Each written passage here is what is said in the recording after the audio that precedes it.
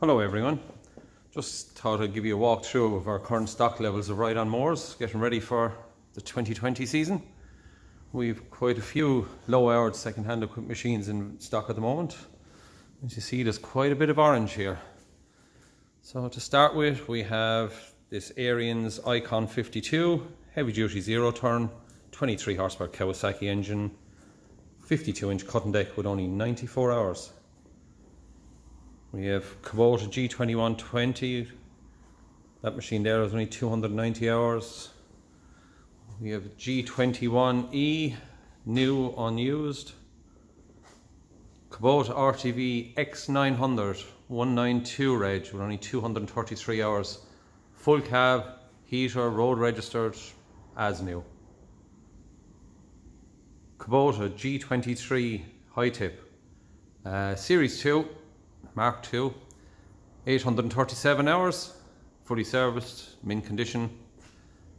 Beside it then we have another Kubota G23 Mark II low dump with only 37 hours. Beside that we have John Deere X950R high tip 48 inch with only 41 hours on it. In the middle then we have GR 1600. We have three of these. We have one with 18 hours, one with 194 hours, and the other one has 890 hours, all fully serviced.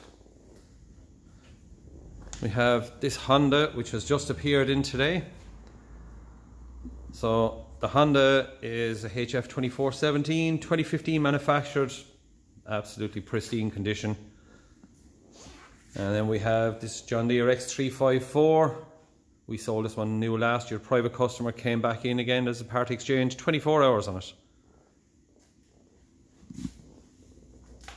In the corner then we have the Stiga Estate uh, Pro 9122 HWS. That machine has only 160 hours as new condition again. Some Newcastle Gardens. We have a Husqvarna R418 TS all-wheel drive, power steering, whoops, hydraulic deck lift, Kawasaki engine. That's Husqvarna's top of the range front deck mower. That machine has only 118 hours. Uh, new Stiga Stiga Villa 14 HST. That's brand new and what we're doing with that one is we're giving a free Stiga battery strimmer with that particular machine if anyone's interested. Going across to the other side then, we have two new John Deere Zero turns, the Z335E, Z525E, good value. We can do good deals in them at the moment. Two new Spartan Zero turns, an RT Pro and an RT HD. One's 54 inch, the other one is 61 inch. And we'll just have a look outside.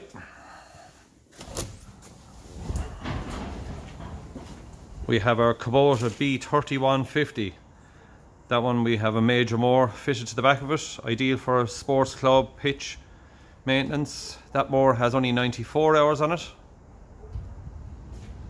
Utility vehicle wise, we have John Deere, three John Deere XUV 855s. One is 2017 with 500 hours, and the other two olive and blacks.